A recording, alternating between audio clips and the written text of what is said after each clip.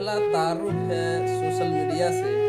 मुझे फॉलो भी करना, मुझे सब्सक्राइब भी करना, लेकिन जो भी करना, ज़रा दिल से करना।